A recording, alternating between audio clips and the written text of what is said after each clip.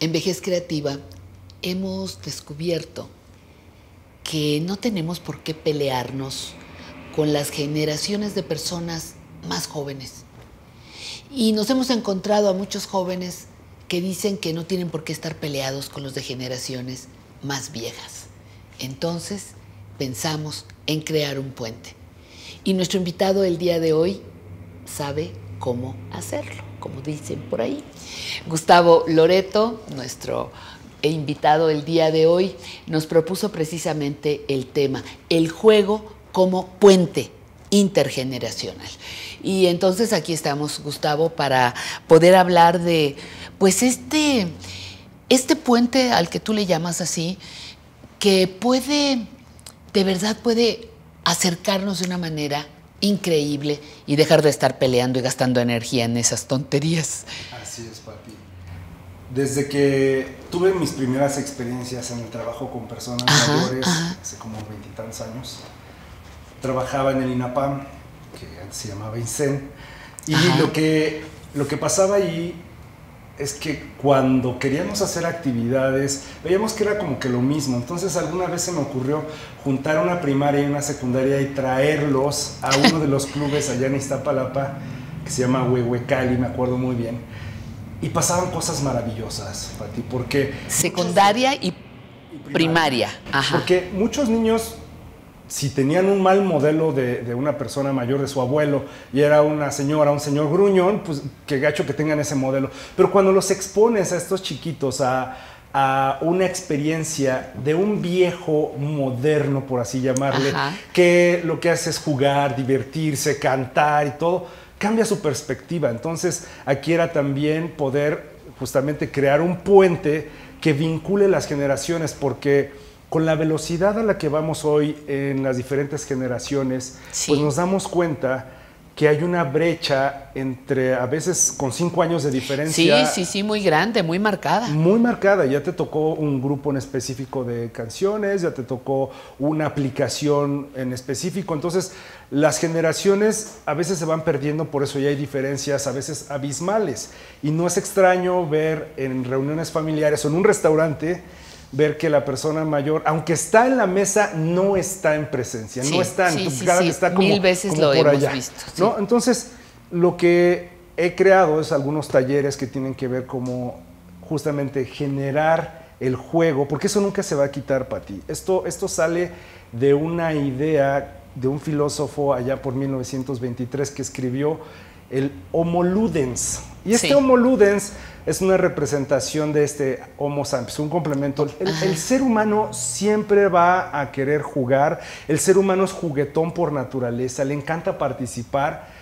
Y ese es el mejor pretexto. Y nos hemos dado cuenta que el juego es una manera muy rápida y directa de, involucrar a las diferentes generaciones. Pero a ver, platícame dos, los dos trabajos. Antes de unirlos tenías que haberlos preparado.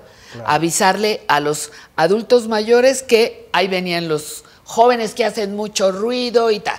Y a los chicos decirle, oye, vamos a ir a un lugar donde hay adultos mayores. lo primero era que aceptaran la invitación ambos y que se enfrentaran a sus propios mitos. ¿Cómo los preparaste a cada uno? Hay algo muy importante, porque primero es qué opinan de los jóvenes. Entonces escribían todos, a ver, esta es mi visión de los jóvenes. Y a los chicos, oye, ¿cómo es que una persona vieja es para ti? ¿A partir de cuántos años alguien es viejo? pues ya te dicen los 40, los 50, ¿verdad? Y dices, a ver, pero alguien más viejito, ¿cómo es? Entonces ya sabes, así, caminando, como con el bastón, como que todo se les olvida. algunos se tiraban y le hacían así. Entonces, todo eso que se llaman representaciones sociales, representaciones colectivas, estas imágenes, eran escritas y documentadas y les decía, ¿qué les parecería ser expuestos y tener una actividad con diferentes grupos de edad? Entonces, obviamente invitábamos a esto que la gente de manera voluntaria participara, pero especialmente las personas mayores eran las más entusiastas de decir, sí, vamos a ir a una primaria y vamos a hacer juegos. Es más, ellos mismos. Entonces, la manera en que lo hice, Pati, es que les dije, a ver, ¿qué juegos jugaban ustedes como señores hace 60 años? Uy. pues sí, uy, uy, Entonces llevaron trompo, canicas, la cuerda, ya sabes, todas estas cosas. Y vamos a jugar con estos chicos a ver a lo que nosotros jugábamos, porque una cosa es que te lo platiquen y otra cosa que ya estés ahí. Entonces no sabes las divertidas que se dieron porque era esa aproximación y las carcajadas que había entre ellos y chicos ahí, imagínate intentando enredar el trompo y darle pues... Ahorita sí puede costarles mucho trabajo, o el yo-yo, lo que fuera, ¿no? La cuerda. Exactamente. Y entonces, para los chicos también. ¿Y qué eh, llevaban los chicos? Sí, exacto. Los chicos, yo lo que les pedía a estos, a estos jovencitos es que llevaran actividades que tuvieran que ver con retos para la memoria, para el lenguaje, eh, y pues obviamente pusieron ese juego de ya basta, ¿no? El de basta. De, ah, el basta todas es las palabras. Entonces se, hacían competencias, este, yo como persona mayor y tú como chico hacíamos pareja, y entonces no era como grandes contra chicos, sino eran grupos. Grupo, ajá, eran equipos, parejas. Para estar equitativo. Ajá. sí, entonces fue de lo más, más divertido para ti. Creo que una de las cosas que, ocurrió con esa experiencia es que obviamente al terminar esta, este experimento cambiaba totalmente la percepción. Entonces les volvíamos a preguntar, bueno, ¿y ahora qué opinas de las personas mayores? Ah, que pueden ser personas divertidas, que pueden ser personas muy juguetonas, que puedes... Entonces te cambió tu percepción, desde luego que había cambiado la percepción. Exactamente. ¿Y por qué el juego?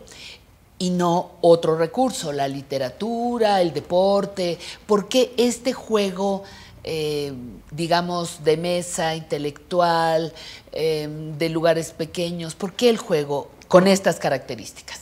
Porque yo creo que el 100% de la población le gusta jugar. En cambio, no al 100% de la población le encanta la literatura. O sea, obviamente hay otras maneras de Sí, hay otras, sin duda, Pero sin duda. el juego es, es la manera más inmediata en donde no tiene que haber necesariamente presencia de uh, gadgets, teléfonos, iPad. Puede haberlos o no. Eh, recuerdo una señora de 95 años que lo que le encantó fue aprender a jugar Angry Birds ¿verdad? Esta, es eso? esta resortera con unos pajaritos que avientan a tirar este, cosas.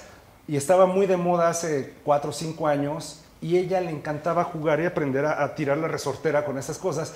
Porque cuando iba los fines de semana jugaba con su bisnieto Angry Birds. o sea, también los niños le estaban enseñando a los viejos a jugar. Entonces aquí es la idea de, de quitarnos estos estas ideas, estos mitos de que no se puede interactuar. El juego es lo más inmediato, Pati, por eso, porque nos, nos pone en equidad de circunstancias. Porque aun cuando una persona mayor tenga demencia y avanzada, y esto lo digo y tengo unas experiencias espectaculares, una persona, un equipo de personas mayores, lo he hecho, con demencia que juegan fútbol contra otras personas y otros niños y todo, igualmente los equipos están separados, están jugando y todos están divertidos. Y ahí no hay si tiene un problema mental, si no lo tiene, simplemente todos están divirtiendo en equidad de circunstancias. Híjole, qué, qué, reto más, más fantástico.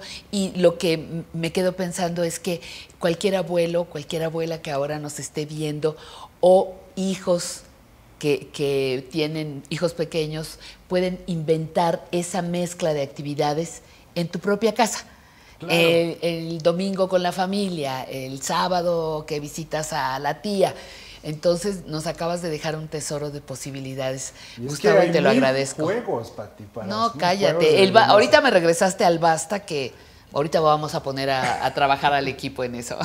Claro. Muy bien. Muchísimas gracias, Gustavo Loreto. Te agradezco muchísimo tu, tu presencia y yo les agradezco a ustedes el que hayan estado en este espacio. Les recuerdo, Gustavo Loreto fue nuestro invitado el día de hoy y estaremos próximamente con temas nuevos, con él mismo que amablemente se ha eh, integrado a nuestro eh, cartel de invitados en Vejez Creativa.